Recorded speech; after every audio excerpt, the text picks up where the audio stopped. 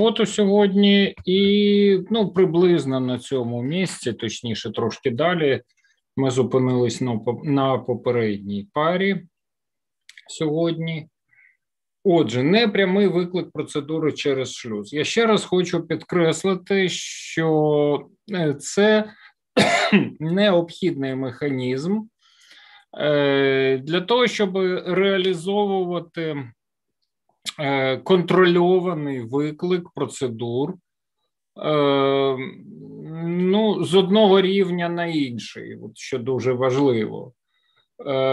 Причому тут можливо викликати з рівня користувача процедуру, яка буде, е, ну, яка не просто прописана, що вона рівня ядра, а вона і буде виконуватись при цьому рівні ядра. Ну, тобто, це необхідно, коли ми робимо виклик до е, ну, системний виклик, виклик до ядра системи. Е, Тому ну, от давайте розбиратись трошечки, ну багато не будемо. Ми це вже пробігли. Е, що ж пропонує процесор? Процесор пропонує спеціальний механізм, це називається шлюз. Е, і по суті, шлюз це структура даних, яка приблизно схожа на структуру дескриптора сегмента. І знаходиться він також в таблиці, е, в тій самій таблиці, де у нас дескриптори сегментів. Тобто ми можемо е, викликати, ну як, як завжди, jump або call, вказувати адресу. Ну, а адреса в повному, ну, якщо це меж-сегментний виклик, то адреса вказується сегмент, далі зміщення. Е, от тут цікавий момент в тому, що зміщення можна не вказувати, ну точніше, його треба вказати якесь, але е, буде не ваше зміщення використано, а зміщення, яке в шлюзі написано. А сегмент е, це по суті селектор, який буде вказувати на оцей шлюз, не на дескриптор сегменту коду, а на шлюз.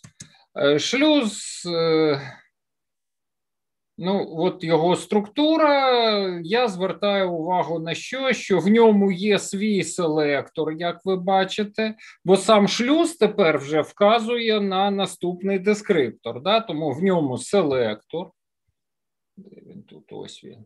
16 розрядний, так само, як будь-які селектори, що ми використовуємо. От, А тут у нас зміщення бачимо тут і тут. Зміщення те, яке буде використовуватись. Тобто є селектор, є зміщення, фактично шлюз вказує точно на точку входу. Він не просто викликаємо щось з цього сегменту а він вказує на точку входу. Це ну. Е, дозволяє позбутися деяких проблем, які можуть бути пов'язані з тим, що, наприклад, на вході здійснюється якась перевірка, а далі йде вже якісь ідуть дії. І от якби була можливість зміщення вказувати самостійно, можна було би ну, перескочити через цю перевірку і перейти якраз до виконання потрібної нам дії. Ну, Нам в даному випадку ми маємо на увазі певного порушника. Е, Шлюз таку можливість не дає. Більше того, шлюз контролює кількість параметрів, які передаються через стек. Тобто теж. Е, е, це вказано. Тепер, е, крім всього, в шлюзі є е, біт P. Ну, по суті, для дескриптора сегменту цей біт означає, чи присутній він в пам'яті, цей сегмент.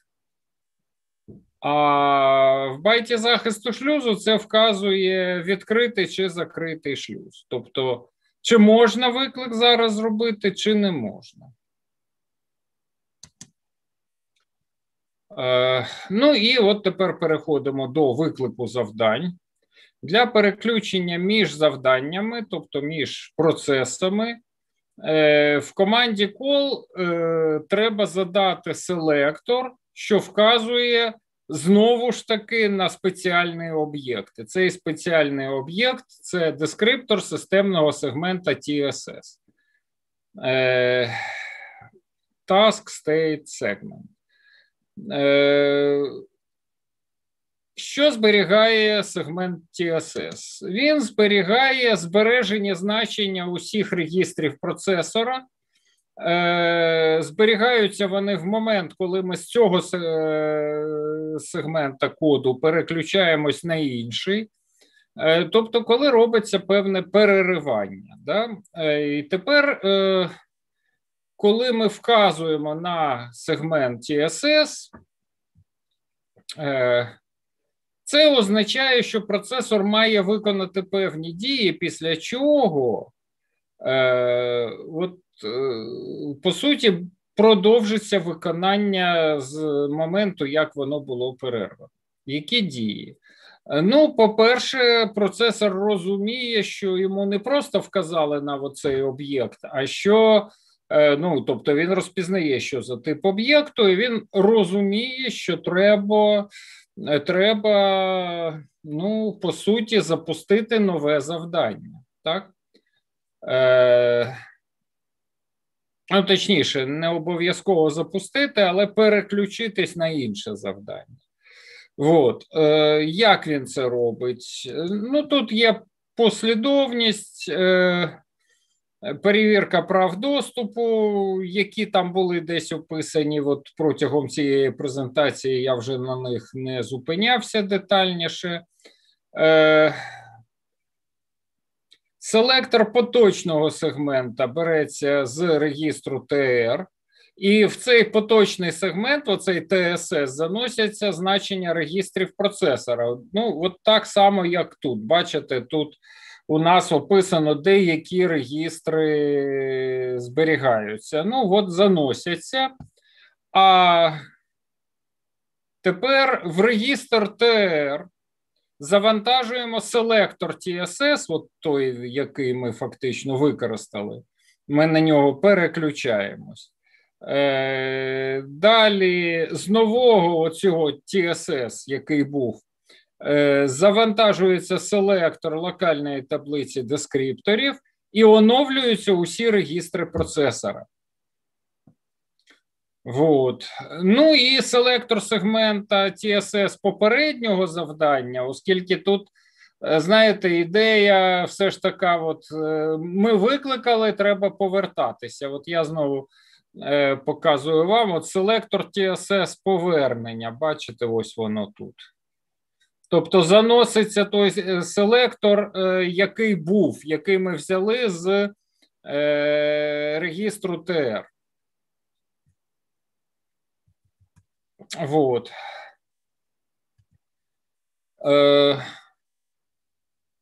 Ну, як рівні привілеїв впливають для виклику нового завдання. Поточний процес повинен мати рівень привілеїв не нижчий за нове завдання. Що це означає? Це означає, що з режиму користувача викликати е, завдання режиму ядра ми не можемо. З, е, Хоча ну, теоретично викликати завдання е, того ж режиму, в якому ми, ну, теоретично можемо. Е, правда, я не знаю, чи всі, всі ці регістри будуть зберігатися і відновлюватись як слід. Вот. Ну, в будь-якому разі більш привілейований код має змогу викликати менш привілейовані завдання. Е, ну, Операційна система може запускати і переключати програми користувача. Операційна система може. Е, переключати якісь е, програми режиму ядра теж. Вот. Ну, Щодо режиму користувача, я ще раз кажу, тут я на 100% не впевнений, але я думаю, що е, можливо, тобто, якщо воно дійсно працює, якщо немає, то я би, наприклад, це використовував для підтримки багатопотоковості, коли код режиму користувача може переключитись на інший, ну фактично, якби нібито на інше завдання режиму користувача, але ем, е, стан регістрів треба змінити, а от е, таблицю дескрипторів змінювати при цьому не треба. Вона має бути тією ж самою. Вот. Що стосується більш привілейованого коду, ну а вдруг нам треба викликати більш привілейований код. Е, шлюз. Шлюзи можуть використовуватись так само, як е, от перед цим ми з вами розбирали. Е, я згадував, що деякі команди можна виконувати тільки в режимі ядра, тільки в режимі з високими привілеями. От Такі команди називаються привілейовані. До числа команд, які виконуються лише на цьому нульовому рівні, які обрали рівнем ядра саме через це. Е, це е, команда роботи з регістрами керування, CR0, CR4. Ну, е, що це означає? Це означає, що. Ну-ка, на секундочку повернемось. CR0, CR4. Тут у нас не світяться, тобто регістри керування CR3 є. Да? Ну, от CR3 є, значить, CR3 у нас Е, не зміниться, якщо ми будемо виконувати виклик іншого завдання е, при е, режимі нижчому за режим CPL 0. CPL – це current privilege level, тобто поточний рівень привілеїв. Рівень виконання коду поточного, ну, режим ядра це от CPL 0. Е, добре, команда завантаження регістрів системних адрес, е, в тому числі LDTR. Ну, знову ж таки, як бачимо, і локальну таблицю дескрипторів теж можна завантажувати лише при CPL 0. Вот. Е, І ну, така специфічна, скажімо, команда зупинки процесора, от, яка теж виконується лише при цьому. Е, е, Існують команди, які стосуються операції введення-виведення, і там порівнюються з рівнем привілеїв введення-виведення. Е, Ну, в звичайних для нас системах, таких як от Windows, Linux, насправді це спрощено до того, що ну так само на рівні ядра вони працюють, на рівні користувача вони не працюють. Такі команди називають чутливими. І це команда заборони дозволу маскованих переривань, і це команди введення-виведення. Ну тобто запис е, з у порти введення-виведення, зчитування з портів введення-виведення. Е, При цьому, на що я хочу звернути вашу увагу, те, що я вже казав, що існують команди, які сюди до цього переліку не включені але які виконуватись будуть не повною мірою, якщо у нас буде режим користувача. В режимі ядра вони виконуються. Тобто, ну, скажімо прямо, е, нормальне переключення між процесами, нормальний виклик. Е, процедур він здійснюється з режиму ядра. З режиму користувача там є певні обмеження, з якими ну щось і не таке враження, що можна чогось досягти, але не усього. Е, Бітова карта введення виведення насправді зараз для нас вже не так цікава. Е, В чому ідея? Якщо виведення виведення у нас робиться лише з режиму ядра, ми працюємо в режимі користувача і Уявіть собі, що у нас якийсь інтенсивний обмін іде з пристроєм ведення виведення, ну, наприклад, графіка, яка може бути, ну ви ж розумієте, тобто там дуже багато чого треба. І от е, тут виникає питання, як прискорити, тому що переключення між режимами воно повільне. І тому передбачена так звана бітова карта виведення виведення. Я знову повернусь до структури TSS. Бачите, вона от тут наверху. Ось вона, бітова карта введення виведення. Е, що вона містить? Е, вона містить пропорції для кожного порту введення виведення. Тобто для кожного е, номера порту один біт від, від, від, виділений тут. І в цьому ну, цей біт вказує, чи можна в той порт писати з режиму користувача, чи не можна. Ну, так само і зчитувати з нього. Навіщо таке зробили? А от щоб не перескакувати зайвий раз між режимом користувача і ядра. Тобто, там, де ми ну, вважаємо, що можна це дозволити, ми дозволяємо. Але програма користувача, і не лише, до речі, програма користувача. Е, навіть на рівні ядра, якщо не лізти глибоко в документацію, то ми не розберемось, як це можна зробити. Е, в Windows, наприклад, е, оця бітова карта введення виведення, вона знаходиться за межами того сегмента TSS. Тобто, навіть якщо ви працюєте на рівні ядра, ви в нього напряму нічого записати в неї не можете і не можете змінити режим виведення. Але як виявляється, Microsoft передбачила спеціальні функції, не документувала їх. Вони там є. Ну, хакери їх вже дуже. Дуже давно знайшли, документували, тому я думаю, Microsoft перестала зберігати цю таємницю, тому що вона вже перестала бути таємницею. Вот. Е, як в Linux це зроблено, чесно скажу, не знаю. Можливо, і спокійно все працює. Е, тепер про підтримку керування пам'яттю. Е,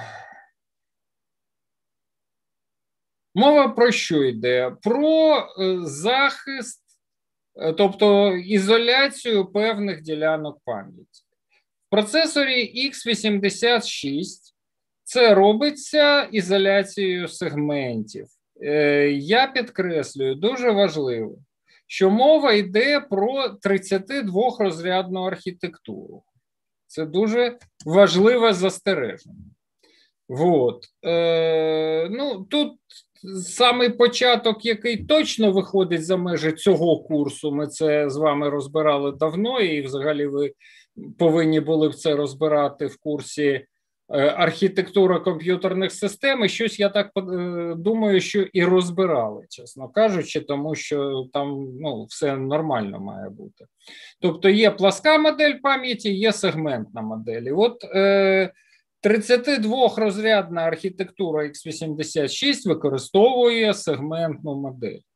От все, що ми перед цим казали, коли говорили про захист коду, селектор, дескриптор це ж селектори і дескриптори сегментів. Але що треба знати про сегмент? Ну, тут це для нас не так цікаво, а оце для нас буде цікаво. А значить, е, що треба знати про сегмент? Про сегмент треба знати, що характеризується він базовою адресою, тобто де він починається, е, розміром, який, як правило, називають межа ліміт, е, ну тобто границя сегмента. Да? Вот. І це міститься в дескрипторі сегмента інформації. Ну, звичайно, там права доступу до сегменту, тип сегменту, вони типізовані, це все важливо. От. Но адресація зрозуміло, що ідея, ну от як тут показано, все дуже просто. Е, у сегмента є базова адреса, Е, з таблиці дескрипторів ми знаходимо базову адресу, а з віртуальної адреси зміщення в сегменті додаємо до базової адреси, але при цьому ще обов'язково перевіряємо, чи не вилізли ми за межу сегменту. Е, Сторінкова організація пам'яті для 32 розрядної архітектури, вона от така, як тут показана, двохрівнева. Е, Є, е, по суті, в віртуальній адресі номер розділу, номер віртуальної сторінки це по 10 розрядів, і далі 12 розрядів зміщення в сторінці. Е, ну і знаходиться от таблиці сторінок. Е, старша називається таблиця розділів, а молодша називається, ну або його називають каталог сторінок. І оце, оцей каталог, до речі, його адреса міститься в регістрі процесора. А таблиця сторінок. Е, Одного з 1024 розділів, ну от вона і е, номер віртуальної сторінки в розділі показує індекс в цій таблиці, і звідти ми беремо номер фізичної сторінки, або, як це кажуть, фрейм пам'яті, тобто номер в пам'яті, де воно є. Е, як робиться в 32 розрядному процесорі е, Intel, то, що ми називаємо X86?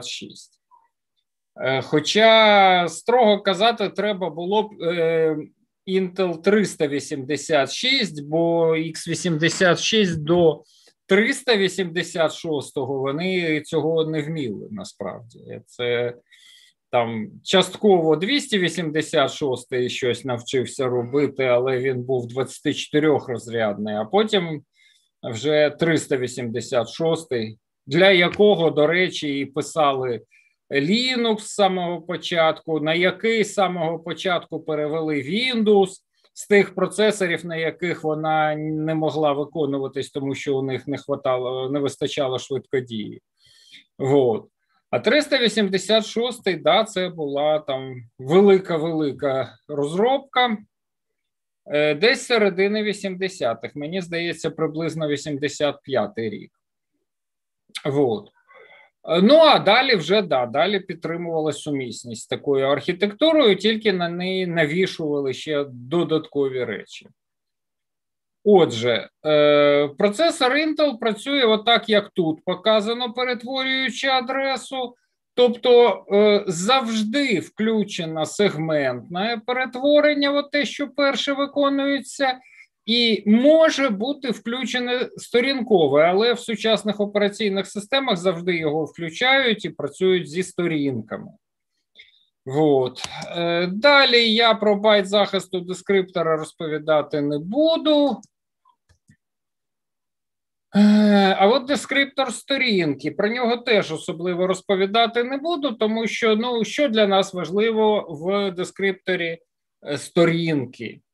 Е, Присутність пам'яті. Чому? Тому що якщо сторінки немає в пам'яті, викликається сторінкове переривання, і, власне кажучи, е, цю сторінку завантажують в пам'ять, е, можливо, для цього звільняючи місце для неї. Вот. Дуже важливий прапорець дозволу записування в сторінку Writable. Я вам нагадаю, що за допомогою цього е, операційні системи, саме цього, не сегментів, а саме сторінок, е, організують технології копіювання під час записування. Коли, якщо ми дублюємо якийсь фрагмент пам'яті, то е, копія не створюється, а і нове посилання і старе посилання посилаються на один і той самий фрагмент пам'яті. Але як тільки хтось е, намагається записати, ось тут виявляється, да, сторінки помічають як такі, що закриті для записування. Якщо хтось намагається записати, тоді е, йому створюють копію. Ну тобто, от копіюють тільки тоді, коли хтось хоче записувати. А якщо е, їм треба дві копії, але вони тотожні, то копію не роблять. Так, ну далі, далі, далі, далі, далі.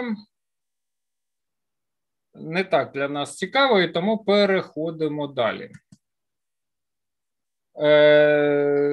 Щодо завантаження селектора в сегментний регістр, я ну, не впевнений, що варто дуже багато розповідати. Е, просто ідея в чому? Е, коли ми намагаємось звернутися до нового сегмента, коли ми намагаємось звернутися до нового сегмента, то ми е, повинні завантажити цей селектор в сегментний регістр. А процесор при цьому е, повинен перевірити, от селектор звертається до певного дескриптора, чи є в нас право, чи є відповідність типу дескриптора, е, куди ми завантажуємо, відповідності типів. Ну, далі там трошки буде зараз про це. От. Ну і взагалі там багато перевірок, я про всі з них не буду зараз говорити. Е, Іде перевірка сумісності типів. Дуже е, що важливо.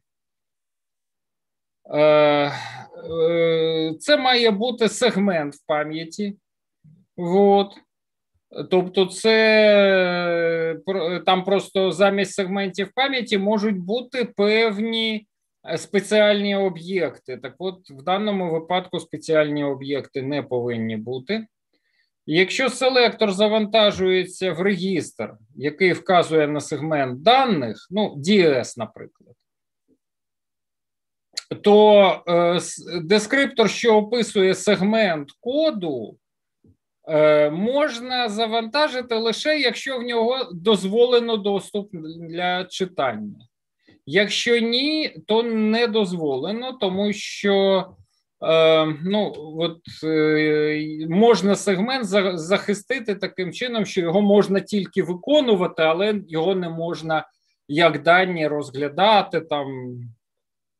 Для чого? Ну, для декомпіляції, наприклад. Ми його завантажуємо як сегмент даних і працюємо з ним не як сегментом коду. Ми його не на процесор завантажуємо на конвейер, а ми його, як з даними працюємо з цими командами, які там є.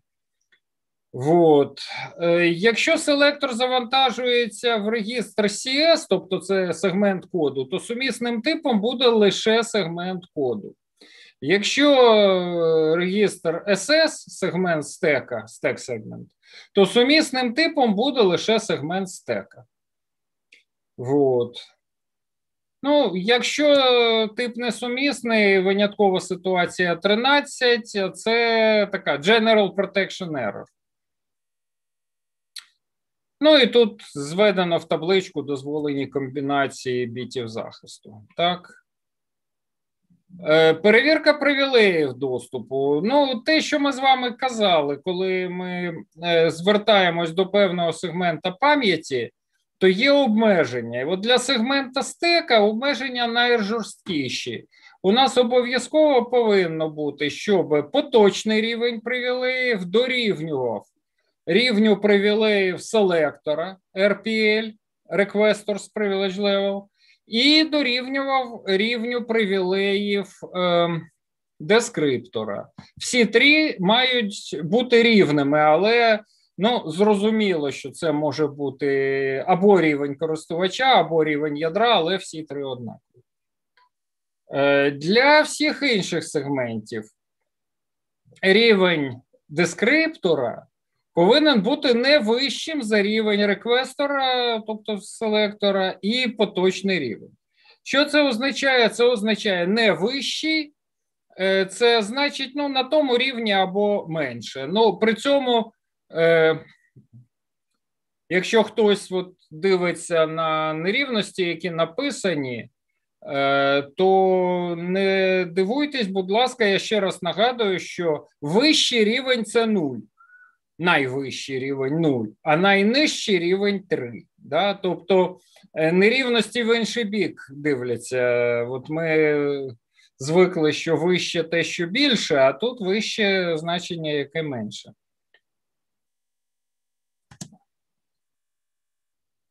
Так, далі.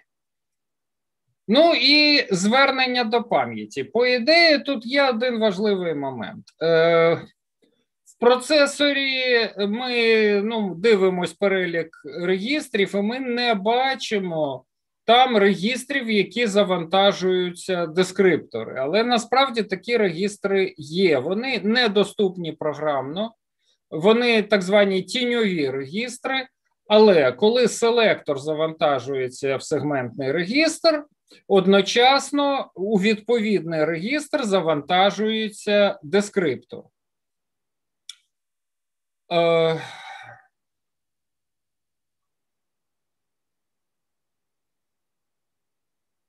Далі, коли здійснюється звернення до пам'яті, насправді нам вже не треба шукати той дескриптор, да? тобто він у нас в процесорі в потрібному місці.